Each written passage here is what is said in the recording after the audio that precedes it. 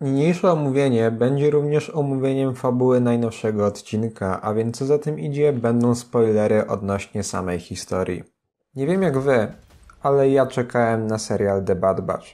Głównie ze względu na moją sympatię do serialu The Clone Wars, która nabrzmiewała aż do końca i nabrzmiewa z każdym kolejnym rewatchem. Zresztą Bad Batch jest spin-offem i jednocześnie bezpośrednią kontynuacją zakończonej rok temu po latach serii, a bohaterów tej konkretnie poznaliśmy na łamach siódmego sezonu. I wtedy ich polubiłem. I szkoda mi było, że Clone Force 99 pojawiło się na tak krótki okres, ale zdawałem sobie sprawę, że The Clone Wars skończyć się w końcu musiało, a gdy dostaliśmy zapowiedź The Bad Batch, to byłem zwyczajnie ucieszony i podekscytowany. Tym bardziej, że jest to z założenia tylko miniserial, który może też połatać kilka luk pomiędzy The Clone Wars a Rebels, a już robi to na samym wstępie. Zanim jednak przejdę do pierwszego odcinka, to odeślę na chwilę na kanał Czwartej Ściany, gdzie wraz z Wiktorem z okazji 4 maja powspominaliśmy właśnie siódmy sezon Wojen Klonów. U mnie zaś pojawiać się od tej pory będą pełne omówienia co tydzień, tak jak to było z drugim sezonem Mandalorianina. Tych będzie aż 16, bowiem tyle odcinków liczyć ma sam serial. Swoją drogą ciekawi mnie jak to będzie wyglądało za kilka miesięcy, gdy jednocześnie dostali będziemy Book of Boba Fett, trzeci sezon Mandalorianina, a później wiele innych historii jednocześnie. No cóż, najpewniej wtedy będę musiał upchać to w jeden większy serialowy przegląd. Pierwszy odcinek Bad Batch rozpoczyna się od znanego wstępu narratora. Mamy pokrótce wyjaśnioną sytuację w galaktyce, niemniej jest to po prostu skrót z tego, co już wiemy z innych produkcji. Co ciekawe, w nim widzimy dwa ujęcia zemsty Sithów przerobione na animację towarzyszącą The Clone Wars. Później akcja przenosi nas na planetę Kaler, gdzie widzimy postać nam znaną, czyli Kaleba Duma, choć każdy zna go pod przybranym imieniem, czyli Kanan Jarus. Osobiście cieszy mnie występ zarówno jego, jak i Depy Billaby, którzy mieli swoje cameo na holokonferencji już na trailerze do siódmego sezonu The Clone Wars, jednak tyle ich widzieliśmy wtedy.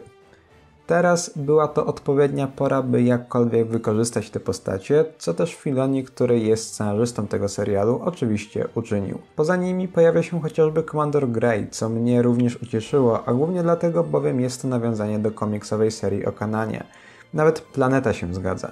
Niemniej ciekawiło mnie, jak bardzo ta historia wiąże się z komiksem i specjalnie powtórzyłem sobie tamte zeszyty i są niestety sprzeczności i one były od razu zwyczajnie widoczne. W tym odcinku na samym początku z odsieczą przychodzi Bad Batch, niszcząc każdego droida na swojej drodze, jednak zaraz później Commander Grey dostaje komunikat od Palpatina, by wykonać rozkaz 66, co też robi na Depie Billabie, która każe Calebowi uciekać. Ten po drodze wpada na tytułowy oddział i kiedy Hunter nie ma zamiaru go skrzywdzić, to Crosshair zamierza zaledwie wykonać swoje zadanie. Wszyscy rozstają się nad przepaścią, kiedy Caleb ucieka od Huntera. Komiks wyglądał inaczej. Tam pewnego wieczoru również na planecie Kaler obaj Jedi przesiadują wraz z komandorem Greyem. Kanan otrzymuje tam również swój ikoniczny holokron i w tym też momencie Grey otrzymuje rozkaz 66. Tutaj oboje Jedi walczą, choć Depa Billaba również nakazuje swojemu padawanowi ucieczkę. Tam scena również kończy się potyczką w lesie, niemniej swego udziału nie miało wtedy Bad Batch, bo zwyczajnie oficjalnie jeszcze nie istnieli, tyle co w niedokończonych odcinkach. Tam w pogoni za Kalebem poszedł Grey oraz Styles. Niemniej, jak już wspomniałem, w serialu mamy pewną potyczkę pomiędzy Hunterem a Crosshairem, co według mnie świetnie ukazuje pewne ideały, którymi kierują się klony i to, jak potrafią być one sprzeczne między najbliższymi członkami danych oddziałów. Czy są to żołnierze, którzy powinni wykonywać nadane rozkazy, a może zwyczajnie myślące istoty, zaś Bad Bad dzięki mutacjom nie jest podległy ani Kaminoanom, ani formującemu się Imperium. I wracamy również na Kamino i tam spędzamy lwią część odcinka, a także poznajemy klony po rozkazie 66.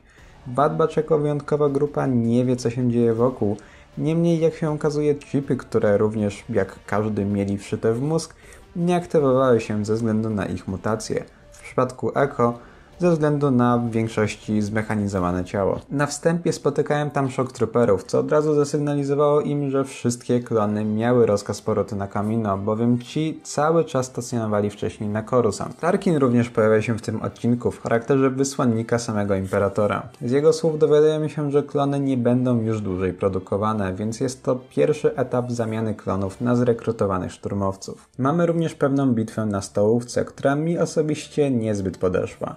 W niej ujrzeć możemy potyczkę pomiędzy specjalnymi klonami z Clone Force 99, a tak zwanymi Rex, czyli klonami wyszkolonymi w pełni regularnie. Bad Batch są tutaj potraktowani jako odmieńcy, nielubiani wśród całej armii klonów. Osobiście gryzie mi się to z tym, jak klony przedstawiane były przez 7 sezonów The Clone Wars, mianowicie jako jedna spójna armia i bracia z tego samego kodu genetycznego. I teraz tak nagle zwykli żołnierze przyczepiają się o odmienność swoich dalszych braci? Zwyczajne klony też są pokazane zwyczajnie. Nie są to już te same klony, które znamy. Każdy ma w pełni biały pancerz i tę samą fryzurę. Brak jakichkolwiek spersonalizowanych cech, z których żołnierze Republiki wcześniej słynęli. Może to też dodatkowo nakreślać fakt, że przechodzimy powoli do kolejnego systemu, jakim jest właśnie Imperium. W tym odcinku poznajemy również Omegę, wokół której słyszało się stosunkowo wiele już przy okazji trailerów. Jednak czy jest to wytłumaczone dokładnie, kim ona jest? No, niestety dalej nie. Jest kimś innym według tego, co mówi Nalasy na korytarzu. Ani klonem, ani kaminoanem i zwyczajnie pracuje przy pomocy. Niemniej uważam dalej, że Omega klonem może być, ze zmienionym DNA, przez co jest innej płci.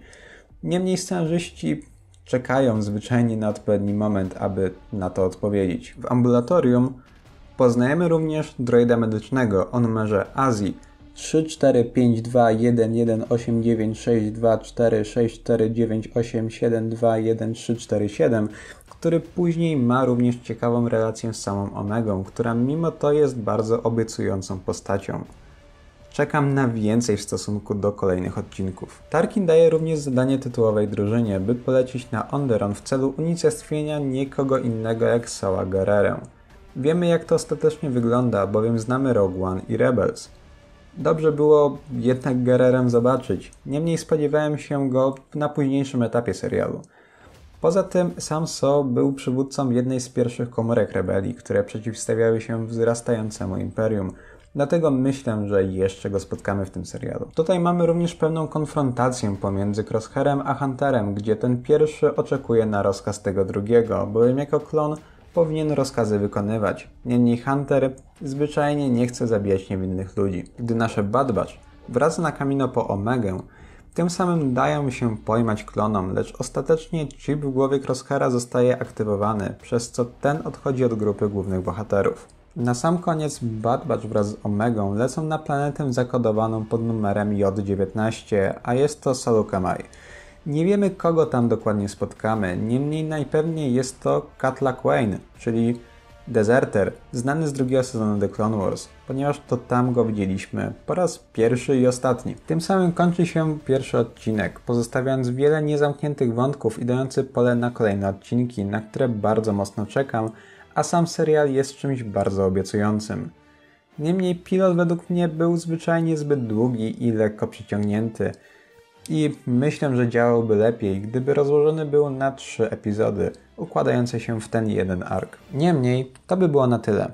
Dawajcie znać w komentarzu, co wy sądzicie o najnowszym serialu z uniwersum Star Wars. Zachęcam również do zaglądania na mojego Facebooka, Instagrama, a jeśli polubiliście ten materiał i chcecie ich więcej, to również do subskrypcji. Był to bardzo dobry 4 maja, to trzeba przyznać. Niech moc będzie z Wami.